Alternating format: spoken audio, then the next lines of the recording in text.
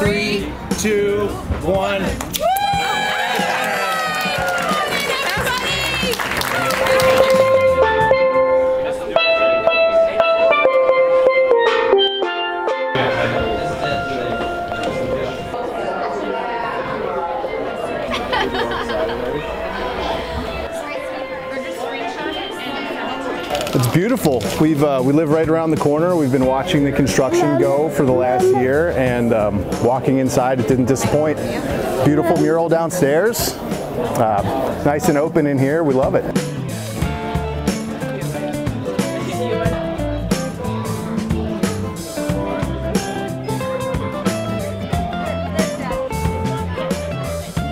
Coming to this library off and on all my life. So just seeing this, seeing the remodel is very, very, very exciting.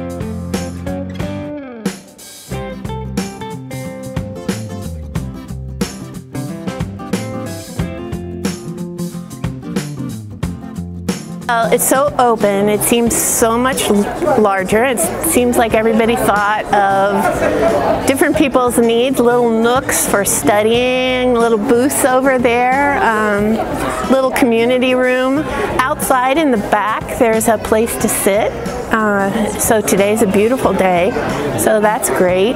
Um, I love the fact that they preserved the bricks that were there originally. Our family has a brick, and I found it, and it says, uh, feed your head here, Hayes family. So I was excited to see a little bit of what was left.